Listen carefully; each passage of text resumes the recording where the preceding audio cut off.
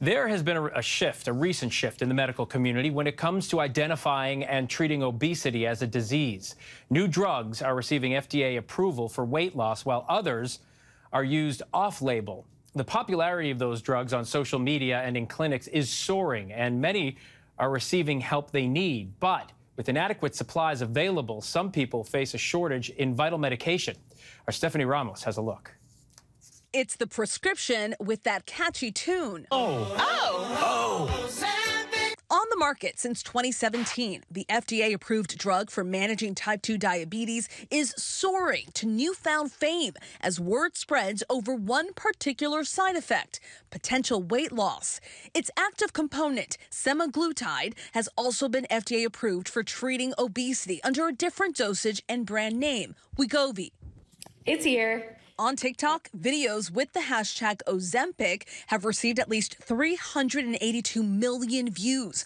Users like Alyssa Clayton documenting her journey, praising the drug's results. I wanted something that was non invasive. Being pre diabetic, that's scary for me. I mean, if I'm 60 pounds lighter now than I was a year ago. I, I, feel like that has increased the quality of my life and hopefully the length of my life. While there's been speculation of celebrities who are neither obese nor have type 2 diabetes using the drug as a quick way to shed a few pesky pounds, for some, even those who don't have diabetes, the results may be life changing. I was able to fit into a jean size that I was my senior year of high school. I have not seen that size in 12 years. 31 year old Emily Klassen of Fort Wayne, Indiana, started taking Ozempic in August of 2021. How were you first introduced to Ozempic? My best friend Carla, she uh, works right beside me at work. She came to me and she said, Hey, I know you're struggling. I really want to help you. So please don't take this offensively, but, but I might have found something that could work for you. So I looked into it, and by the end of the day, my doctor prescribed the medication to me. She's since switched to a similar drug, Mounjaro. In almost a year and a half, she tells me she lost 120 pounds. How do you feel? What has what has that journey been like for you? I can remember when I first lost 20 pounds. I cried. I literally cried because I've never lost that much weight. Ozempic is one of several drugs of its kind now on the market. Options like Saxenda, Rybelsus, Trulicity.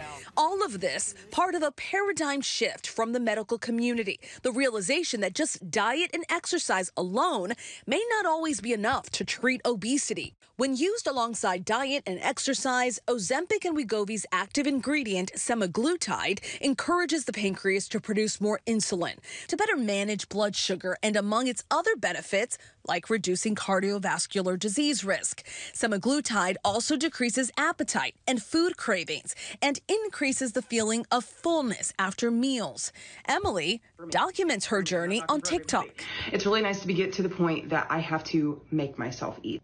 I am able to make consciously healthy choices now, where before I ate out of compulsion. While Emily is not a person with type 2 diabetes, she's one of many like her whose doctor initially prescribed Ozempic off label as a way to lose weight. I do get people who leave some hate about taking this medication not as a diabetic. Last time I checked, you weren't my doctor. And you weren't the one telling me that I needed to lose weight or I was going to die. In a statement to ABC News, Novo Nordisk, the company that sells Ozempic, says Novo Nordisk does not promote, suggest, or encourage off label use of our medicines. We trust that healthcare providers are evaluating a patient's individual needs and determining which medicine is right for that particular patient. There are currently two similar medications FDA approved for weight loss in obesity Wegovy and Saxenda, with a third being investigated and may receive approval approval later this year, Mounjaro.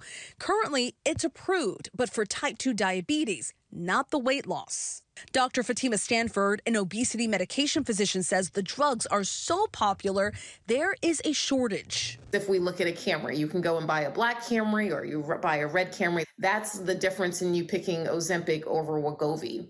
What we have found with a lot of these medications um, is that there has been a national shortage of this entire class of medications, particularly the once weekly injections.